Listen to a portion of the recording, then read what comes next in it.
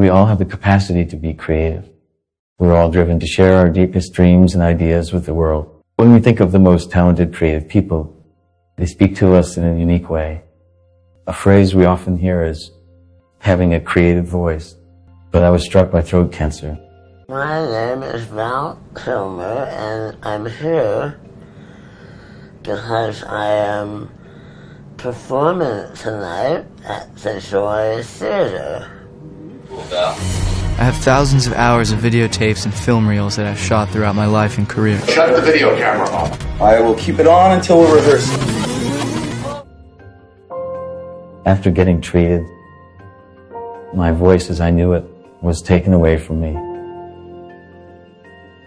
People around me struggle to understand me when I'm talking.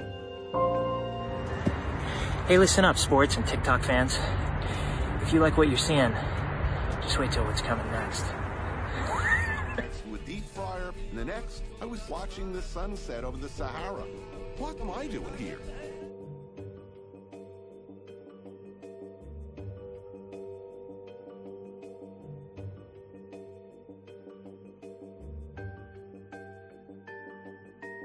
I think we had something like 20,000 hours of footage to go through.